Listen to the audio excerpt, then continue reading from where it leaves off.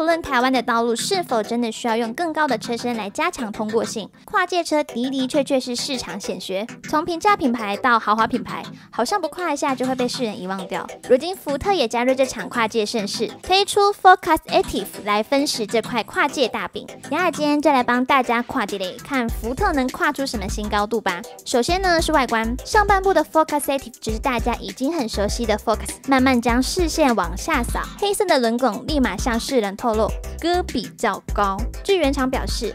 Focus Active 比普通的 Focus 要高两公分。从物理的角度来说，进入角与离去角肯定更大。如果你觉得这是废话，那表示你肯定不理解，在非洲每六十秒就有一分钟过去背后所蕴含的深意啊！更大的进入角和离去角，意味着当你经过烂路或是老旧停车场时，会有更低的几率擦撞到保险杆的下方。搭配防刮材质，下巴受伤或是脱臼的几率几乎为零。虽然说 Focus Active 有着更高的车身，但不代表你可以把它拿去玩 off road 哦。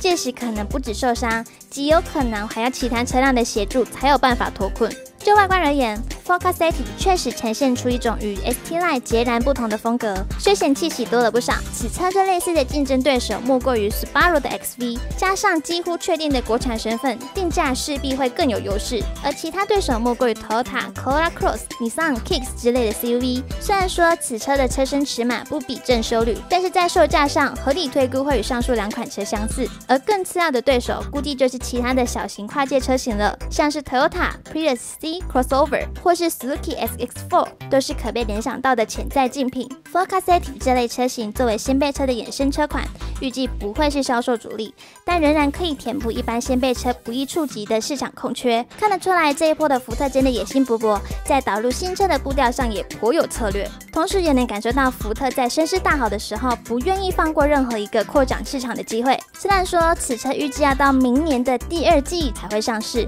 但新减的民众不妨可先参考对岸长安福特的规格，估计会有一定的参考价值。